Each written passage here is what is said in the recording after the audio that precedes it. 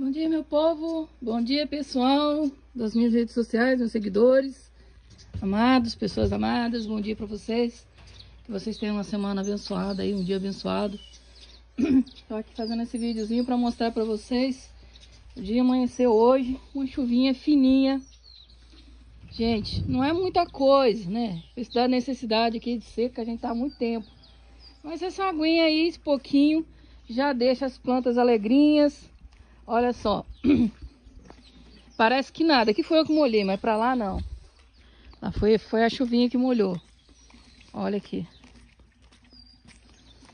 Aqui, ó. Essa área bem seca aqui. Olha. Tá dando uma molhadinha assim, tá? Ó.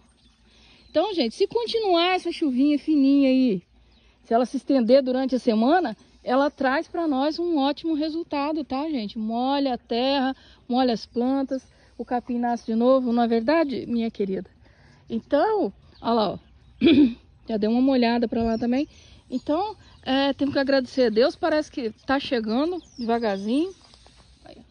Chegando devagarzinho essa chuvinha aí pra gente. Nós também já estamos entrando em, em outubro, né? Entregando setembro e já entrando em outubro.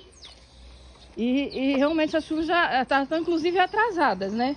Mas na realidade, essas chuvas da, dessa época nem seriam é, chuvinhas finas assim. Seriam chuvinhas, chuvas mais grossas, daquelas temporais mesmo, entendeu?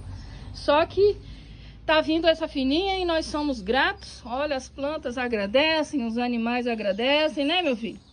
Todo mundo agradece, mesmo pelo pouco que se recebe, né?